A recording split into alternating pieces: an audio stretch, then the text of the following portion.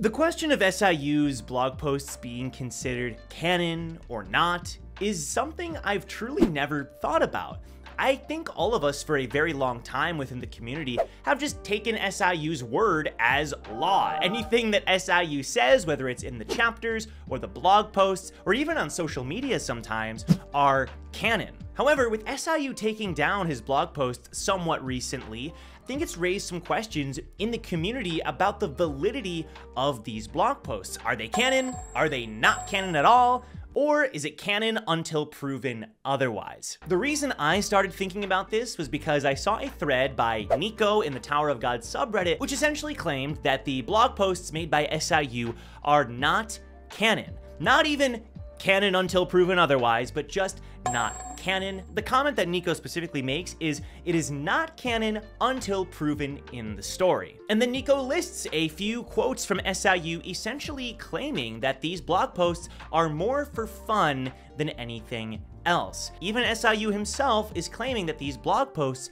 should not be taken as literally as in the main story and that the purpose of these blog posts is more for fun, expanding the world, but not in any way that is truly canon. SIU says until they are actually shown on the episodes, it is safe to assume that they are not confirmed yet. A comment made on a similar thread by Sir Bassoon Sonata says that SIU's blog posts should be treated more like a first draft. If they are treated as a first draft, they're more like hints at what could happen in the future, but not themselves actually the truth. Let's use the Three Lords as an example, right? SIU has wrote extensively on the Three Lords, telling us who each of the Three Lords are, and the system under the Three Lords, what their roles are and duties are. However, they've never been mentioned in the main story. So if we treat this as a first draft, the Three Lords aren't canon. They shouldn't be on the wiki, and until they're shown in the story, we shouldn't even be factoring them in. Or if we do factor them in, it has to be with a lot of leeway, with a huge grain of salt. To compound onto this, some of the blog posts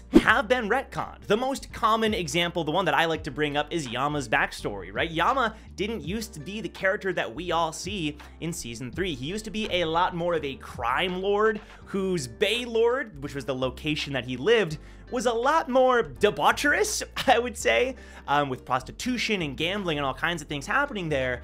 And the story regarding him and his former master very different from what we have now, which kind of proves the point that these blog posts, if that was truly canon, we wouldn't have had this contradiction. I asked my community recently about other examples of contradictions in the blog posts, and at one point, SIU did say there are only two REA princesses. REA Hagatherion and REA Horn. However, later on during the name hunt station, we had a name reveal for a certain REA Rose Jihad, which kind of a tangent, maybe is explained by the fact that she's Arcraptor's daughter, I don't know. So that's a seeming kind of contradiction, a mild one, but a contradiction nonetheless. We also had a statement from SIU that said princesses are chosen every 100 years or so, but some of my comments pointed out that princesses being that rare doesn't really make sense considering we have Endorsi and Liliel and Shiliel and Khun Maria all kind of climbing at the same time, not to mention Rose, who's also a regular. There's a lot of princesses who are active right now. This one could maybe be explained because we know Endorsi's been around for at least 300 years, and so possibly she was chosen as a princess but didn't start climbing right away. There are other potential retcons like maybe Rack's lineage, maybe the Wraithraiser tribe that SIU said he was from, maybe that's been scrapped because now we know Rack is a descendant of the Ancients. Overall, there aren't that many examples. The Yama one stands out and a couple other little details here and there, but overall, I would say the blog posts have actually been rather consistent. I would say the biggest example of a retcon in the blog post is SIU saying that Wang Nan's climb would be one of the main axes of the story. I miss him so much. Now, I want to provide some examples in the other direction, right? I want to provide examples where the blog posts actually got future stuff right. Now, it's easy to say little details. I want to try to mention bigger things that without the blog posts, we wouldn't have had any context for, and we would have we'd be completely lost in the main story. The biggest example I can think of is Han Sung-yu during the Nest arc. Once Han Sung-yu is captured by Perseus, and Traumerei is there, and Traumerei tells him to just kill Han Sung-yu, Han Sung ends up saying something which compels Traumerei to say he's the one that my friend has been searching for. Now, without the blog post's content, we'd have zero idea what Traumerei is talking about here. But a lot of us readers quickly picked up on the fact that years and years and years ago, SIU said that Han Sung Yu had a connection to blood matter, some kind of deep connection. We have no idea what that is, but with that chapter, we actually have some context behind that line. And it seems like over however many years it's been since SIU said that, there's a consistent through line. We can talk about Po Bidau Gustang and Eurasia Blossom's relationship. With just the chapters alone, we would have almost no idea of what happened between Gustang and Blossom. We obviously got a bit about Eurasia Ann, but overall, the fact that like the public knows about their falling out and the fact that Traumerei was making fun of Gustang for that falling out and their split, a lot of that stuff is missing context without the blog posts. The names of various characters that showed up later were introduced in such things like the blog post, as far as I'm aware, one example being Luzlek, another example being uh, the Lo Po Bia family head, right? Like, even in the main story, we never got Traumerei's name, and in the blog post, we never got Traumerei's name. They kind of coincided to make the Traumerei name reveal pretty awesome. To piggyback off of all this, I believe that it's worth mentioning that there is info in the blog posts that we all sort of take as canon, which have not officially been revealed. Like, if we only take the chapters as the only canon, period, that's it, there are a lot of things that we actually don't know. Some things that we all take for granted, some things that we all just assume is canon. For example, the Tu Perry family. Now, I could be wrong about this. If you find something, I'll pin it in the comments, let me know. But I personally don't think that the Tu Perry family has ever even been mentioned in the main story. That's one of the examples that I think is only in the blog posts. Once again, correct me if I'm wrong, but I don't think it's been mentioned. We see Jaina, we see the operas and such, but I don't believe the sort of Tu Perry family as a whole has been mentioned. And if it has been mentioned, I don't think it's been mentioned in the context of being one of the great families, right? Like maybe some kind of offhanded comment about the Tu Perry family with the opera. Even then, I haven't found that but that doesn't explain that they're one of the 10 great families. The blog posts are what told us what the 10 great and who the 10 great families are. If we just sort of scrap them all, then technically we don't know what the 10th great family is. There is info in the blog posts that at this point is so deeply intertwined into the Tower of God main story that we kind of forget that's mostly just blog post information. And maybe I'm to blame, right? Like a lot of the lore videos I've made rely heavily on and obviously heavily on these blog posts. And a lot of that is also due to the Tower of God wiki treating these blog posts as canon, which I don't blame anybody for, because once again, I think we all sort of were under this assumption for a long time.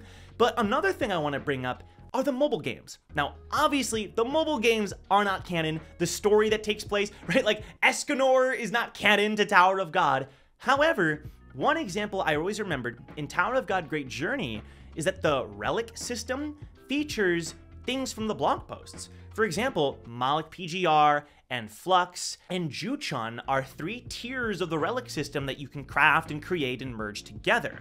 So even though the Tower of God Great Journey game itself isn't like canon to the story, it is an official Tower of God game that contains blog post information. All of this to say, I've been thinking about this a lot and trying to figure out where does this answer lie on the spectrum of canon or not canon. If you ask me, I believe the Tower of God blog posts should be somewhere in the middle, but leaning towards the canon side. Now, maybe that's unpopular, but the reason I say it is because of the consistency that's been seen in the blog post. We've barely had any retcons, and we've had a lot of information that's been proven right through the blog posts. And if we treat it like a first draft, that's a huge backbone of the story, right? Like, sure, the details might change, but I do think it's fair to treat it as semi canon, and if it's proved wrong, we shouldn't be crushed. We shouldn't be like, what's going on, SIU, right? We should take it and say, oh, he changed that. That's really cool. So I say it's semi-canon in that the story doesn't rely on the blog posts entirely, but the blog posts can help us understand what's happening in the story, and it's not completely strange. We're not just doing it because we feel like it. It's not wrong to do so. And I'm not claiming, by the way, that anybody says it's wrong. I'm just saying that if we treat the blog posts as semi-canon, we can use that to help fuel our understanding of the story, give us ideas about stuff that could happen later on, characters that could appear later on that are only within the Tower of God lore blog post stuff. It's stuff that we can use to help us read through Tower of God and help theorize and have fun, but we're not treating it as entirely 100% infallible. So overall, the blog posts are not completely canon, but they're also not completely uncanon either. They're somewhere in the middle, in my opinion, leaning towards canon, not to say that they're infallible. And I saved the best example of them being not completely canon for the very end, because the obvious best example of the blog posts not being fully canon is the fact that SIU said that Chang died in the blog post, and it was disproven later by what Doom said to Yama. It doesn't make sense. The blog posts are not fully canon. I rest my case.